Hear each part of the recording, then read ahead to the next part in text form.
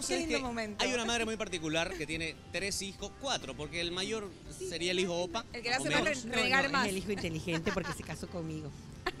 ¿Cómo se porta el mayor? Bien, ¿Sí? eh, bien, ¿El bien. que menos le hace renegar o el que más? No, normal, como todos los hombres. Oiga, y ustedes son algunas, ¿no? Ya, mm, usted todavía, creo, mami de Charlie, pero l- usted sí, vos sí, mamacita, y usted sí también, ya casi abuelas, ¿Qué hace abuela? ¿no?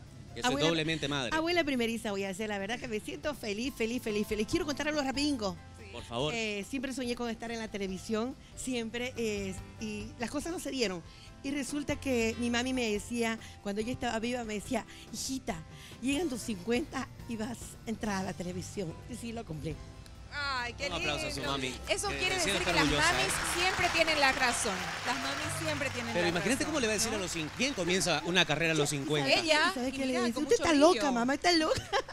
la amo. Un beso hasta el Pero cielo. claro, porque en comunicación es muy difícil. ¿Cómo a los 50 años no se comienza una carrera en la tele? Es difícil. Es difícil. ¿Y cómo ella tenía esa, esa, esa seguridad, esa visión, ese tacto para Eh, Lo que pasa que Dios eh, hace sabia a las mamás por la experiencia de la vida. Total. ¿no? Es verdad.